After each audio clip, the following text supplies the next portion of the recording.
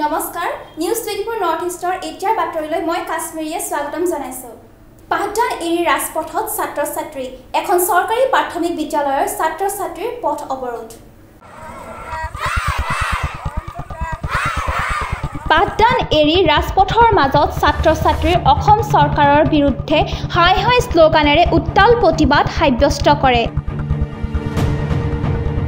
লগতে দেখিবলৈ পোৱা গৈছে অসম জাতীয়তাবাদী যুৱ পৰিষদো এই প্ৰতিবাদত সহযোগ কৰিছে।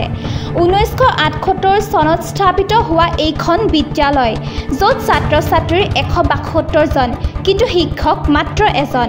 অতি দুৰ্ভাগ্যজনকভাৱে ক'বলৈ গ'লে এশ বাসত্তৰজন ছাত্ৰ ছাত্ৰী থকা স্বত্তেও এইখন বিদ্যালয়ৰ প্ৰধান শিক্ষক মহম্মদ আলীয়ে বহুত কষ্টৰে ছাত্ৰ ছাত্ৰীৰ ভৱিষ্যতৰ ফালে চাই তেওঁৰ কৰ্তব্য পালন কৰি পাঠদান দি আহিছে।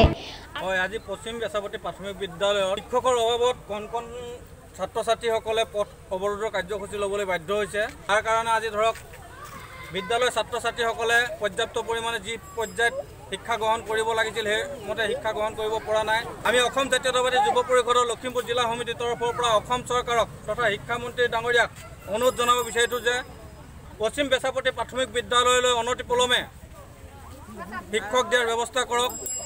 এই কণ কণ ল'ৰা ছোৱালীবিলাকক আগবাঢ়ি যাবৰ কাৰণে আগুৱাই যাবৰ কাৰণে তেওঁলোকে পথ অৱলম্বন কৰক।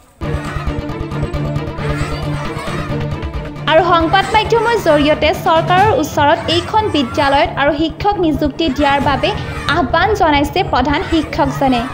লগতে লখিমপুৰ জিলাৰ অসম জাতীয়তাবাদী যুৱ পৰিষদৰ উপ সভাপতি দিগেন্দ্ৰ বৰগোহাঁয়ে সমূহ ছাত্ৰ ছাত্ৰী হৈ চৰকাৰৰ ওচৰত বিদ্যালয়ত নতুনকৈ শিক্ষক নিযুক্তিৰ দাবীত জনাইছে।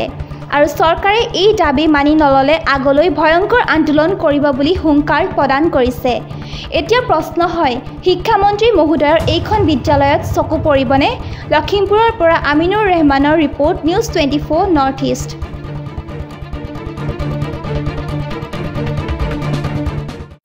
ঢকুৱাখানাত অনুষ্ঠিত কৰা গ্ৰাম্য ক্ৰীড়া মহোৎসৱ।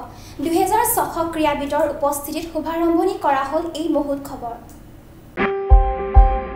পোনপ্ৰথমবাৰৰ বাবে ঢকুৱাখানাত অনুষ্ঠিত কৰা হ'ল বিধায়ক কাপ গ্ৰাম্য ক্ৰীড়া মহোৎসৱ।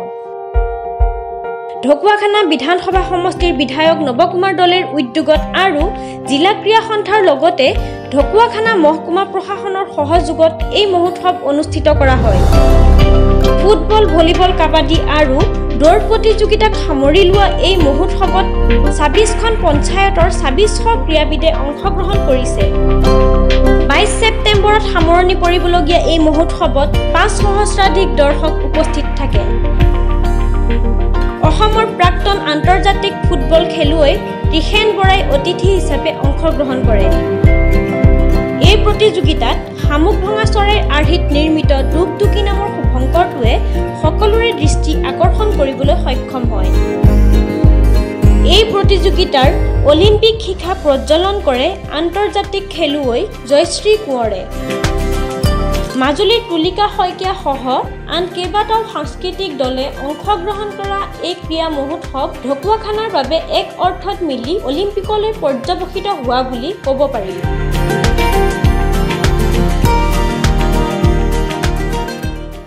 আমি এই ক্ৰীড়া মহোৎসৱৰ উদ্দেশ্যটো হ'ল ঢকুৱাখানা সমষ্টিৰ অন্তৰ্গত যিখিনি ক্ৰীড়া প্ৰতিভাশালী যুৱক যুৱতী আছে যাতে তেখেতলোকৰ প্ৰতিভাসমূহ ইয়াৰ উত্তৰণ ঘটাই পিনি অহা দিনত ৰাজ্যিক আন্তঃৰাষ্ট্ৰীয় পৰ্যায়ত যাতে তেখেতলোকক আমি আগবঢ়াই নিব পাৰোঁ এই উদ্দেশ্যে এই মহোৎসৱটো আমি আয়োজন কৰিছোঁ। ইয়াত আমাৰ এথলেটিকৰ লগতে ফুটবল কাবাডী তাৰপিছত দৌৰ এনেধৰণৰ প্ৰতিযোগিতাসমূহ আয়োজন কৰিছোঁ। তেৰদিনীয়াকৈ হ'ব। অহা বাইছ তাৰিখৰ দিনাখন ইয়াৰ মানে ফাইনেল মানে খেলখন হ'ব। আৰু আশা ৰাখিছোঁ এই মহোৎসৱটিক সমূহ ঢকুৱাখানাবাসী ৰাইজৰ সহযোগত আৰু ইয়াত যিখিনি আমাৰ বিশেষকৈ আমাৰ মহকুমা প্ৰশাসন ঢকুৱাখানা ক্ৰীড়া জিলা সন্থা সহযোগত আৰু ঢকুৱাখানা ৰাইজৰ সহযোগত খুব সুন্দৰভাৱে এই তেৰটা দিন এই অনুষ্ঠানটোত বিধায়ক গ্ৰাম্য ক্ৰীড়া মহোৎসৱ দুহেজাৰ ঊনৈছৰ শীৰ্ষ সংগীতত ঢকুৱাখানাৰ পৰা Jintu Koch news twenty four north east. বোকাখাটৰ কৰুণ জীৱন সংগ্ৰামৰ দৃশ্য। ভতিজাকে খুৰাকক চাইকেলত উঠাই লৈ যায় ভিক্ষা মাগিবলৈ।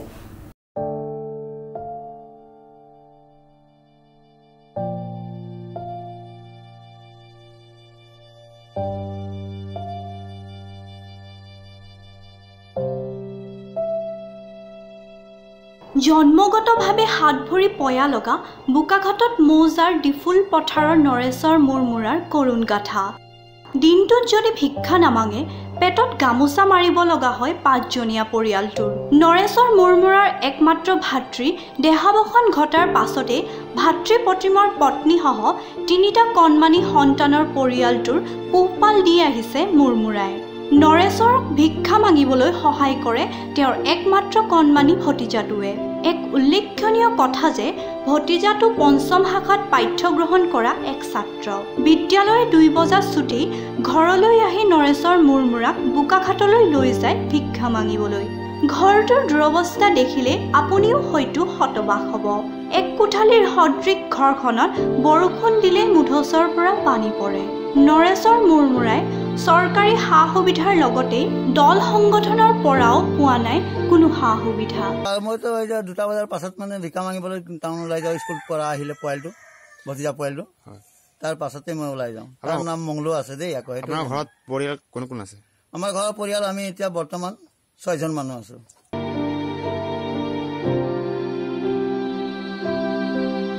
দুখত ভাগি পৰা নৰেশৰ মূৰমূৰাৰ চৰকাৰলৈ কাটৰ অনুৰোধ। তেওঁক যেন চৰকাৰী পেঞ্চনৰ সাহায্যৰ লগতে এটা ইলেক্ট্ৰনিক চালিত বাহনৰ ব্যৱস্থা কৰি দি তেওঁৰ পৰিয়ালটোক জীৱন নিৰ্বাহৰ বাবে সহায় কৰে। অনাগত দিনত চৰকাৰে কি ব্যৱস্থা গ্ৰহণ কৰিব সেয়া হ'ব এক লক্ষণীয়। বোকাখাটৰ পৰা Deepak চেত্ৰীৰ report news twenty four north east. Twenty four north ইষ্টৰ এতিয়াৰ বাতৰিৰ পৰা মই কাশ্মীৰীয়ে বিদায় লৈছোঁ। চাই থাকিব news twenty four north east